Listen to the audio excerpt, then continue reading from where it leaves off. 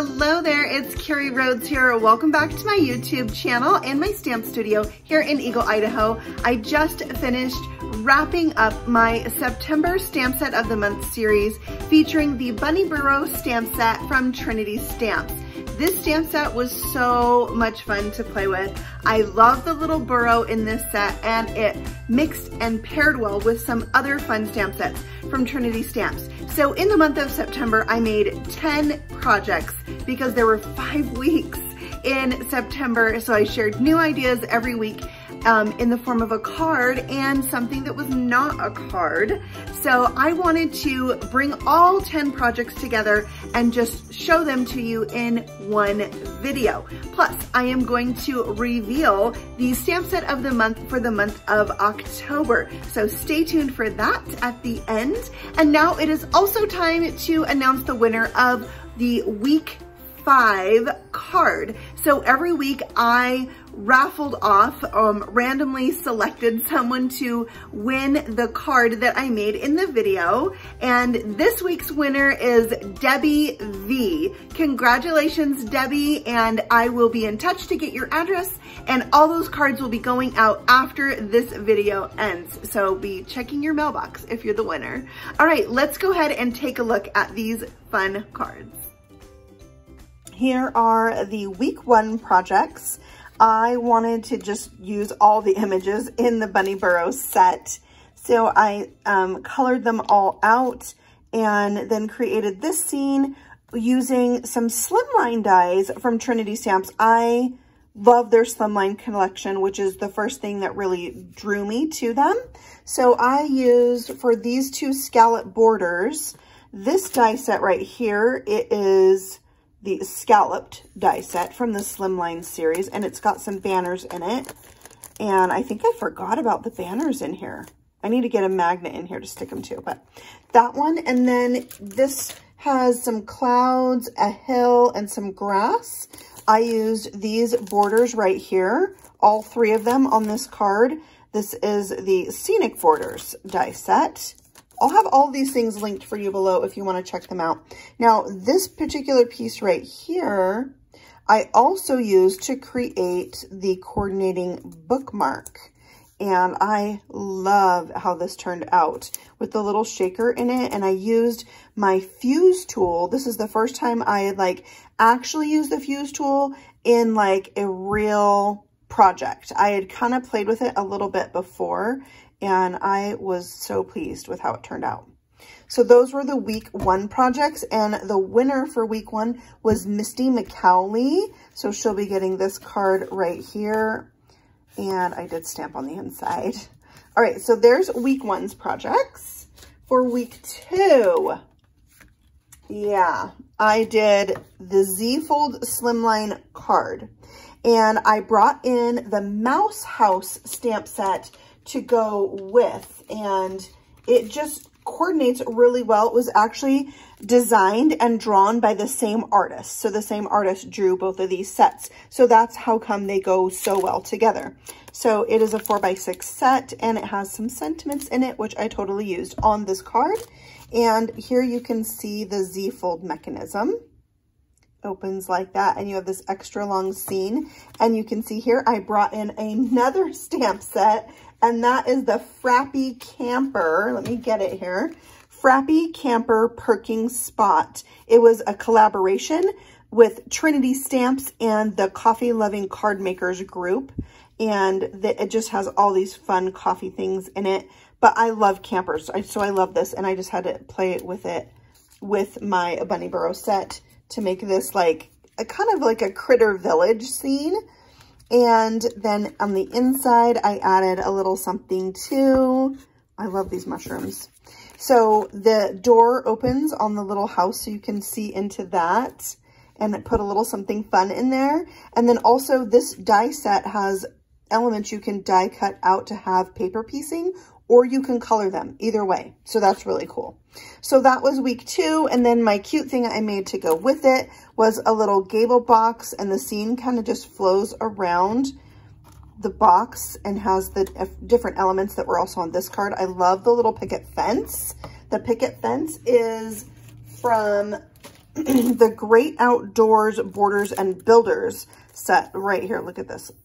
And then I have a straight piece of grass. You have the hill, you have the scallops and all these things to make trees and birds. So I'll, I'll be using this um, set more. Well, I used it already in another card in this series. So I'll show you these trees on a card.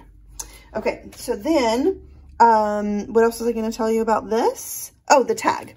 So then I made a little tiny shaker tag and the Bunny Burrow set did not have a sentiment in it. So throughout this series, I used the Happy Mini stamp set Happy Mini stamp set. There's also a coordinating die set, but it doesn't cut out the stamped word. This is bigger than these, but these layer together, and I did use the die set on another card. So I'll show you this die set and what it looks like later, but you can see the stamp right there. The, in the heart, in the Y, do you see that? Love it, love it.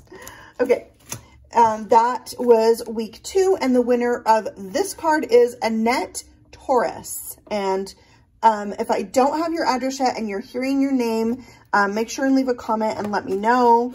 And then I can get these sent out here very soon, now that this video is being made. Okay, week three. Let's bring that in. Oh my gosh, the rainbow card and the pastel critters it makes me so happy. So this rainbow die set is like amazing. This die right here. Oh, I saved, look, the other part of this rainbow. I saved it. Um, it has, look at this, giant cloud border. I used it on the background there, but it doesn't show too much. And then this rainbow, it takes up like the whole entire slimline card if you want, or you can you use a piece. So what happens is you die cut this out and it's going to um, die cut, like if you'd use pink, you're going to have seven pink bows. This, this does have seven bows in this rainbow. So what I did is I created some more panels with those extra pieces. And what I like to do when I have extra rainbow pieces is just keep them in rainbow order. So even if you're, if it starts with orange, you continue on in rainbow order and it still has that rainbow feel, even if it's not starting with red or pink at the top. And then you have some really fun pieces that you can use again later. And I could trim these down and use them as card bases. And I made a matching tag. Again, there's that happy stamp. It says, if you're happy and you know it, shout hooray is here under my shaker elements. And I put a little eyelet in there for the tag. It's so cute. And then on the inside, I added that Happy Camper, Frappy Camper stamp set and Happy Birthday and then perk up. I left um, the grass is only glued at the very bottom, so you could tuck a gift card there if you wanted. And here's that tree from the Great Outdoor set that I was telling you about. So cool, right? Okay, on to week four. Oh my gosh, I love this card so much. I used pan pastels on the background and I brought in a, another stamp set that I thought would go really well with the Bunny Burrow set. And that is this one right here. It's hard to see. I can't find the backer. It's here somewhere. Shoe Sprites. But it has this giant shoe. And I thought these little people could be like hobbits. And so my story behind this card is that there's probably a tunnel dug between the shoe and the burrow. And so that now have extra room for all their kids.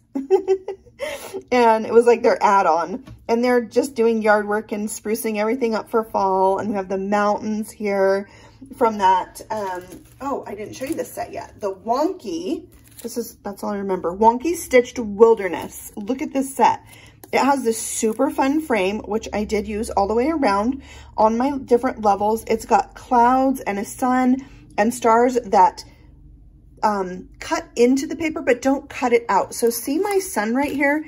It's just cut into the paper and the little tiny stars, they're not actually cut out. So I love that. You can do that with the clouds too. And I did a little cute thing on the inside And then I made a little tea bag holder. Whenever you order from Trinity Stamps, they send you a cute little thank you that's usually a tea bag and a, I'm going to say this right this time, stroopwafel. and um, sometimes even like a little bag of sequins, which I just love so much. Let me see if I can fit both these in here. Oh, there we go. Oh, popped open. Too much. Just squeeze that back together and I have a little Velcro to keep it shut. But this was made using this same wavy border. I die cut that out and folded it in thirds and then it made a little pocket for the tea bag. So you can also use your slimline dies like that. And I had to use a little hedgehog from Bunny Burrow. So that was week four. And the winner of this card is Cindy Kang. Cindy, I already have your address. Thank you very much. So congratulations. And now let's go on to week five. Halloween. I had to do a Halloween themed card. And I also made a little matchy-matchy thing. This is a lift the flap card, but you lift the whole entire card. Isn't that cool? There are other flaps in this set. You can see there's three smaller ones in here. Um, but this is the big Lift the Flap. And yeah, it's Lift the Flap Slimline Series from Trinity Stamp. So four different dies in there to make Lift the Flap scenes. I used the trees from the Great Outdoors, the fence, the hill, and did some ink blending to kind of give a Halloween night sky. And the story is like these guys are at the park on Halloween night getting their um, pumpkin spice treats and coffees and then this would be like for somebody to buy a coffee for themselves and it says have a fabulous day. And I added some bats. Those were from a Lawn Fawn set as well as the sentiment. And then I added um, back at the burrow, a little spider and the word boo when you open this and there's the worm with his little muffin and the bunny outside. Now this piece right here, I used a stencil set. And it was also from when I, oh, I lost my top. Sad about it. There's my top. Let's pretend that didn't fall off. This is a coffee shaped card. And I, let's talk about the stencil, although my stencil, here it is, Slimline Space Swirl.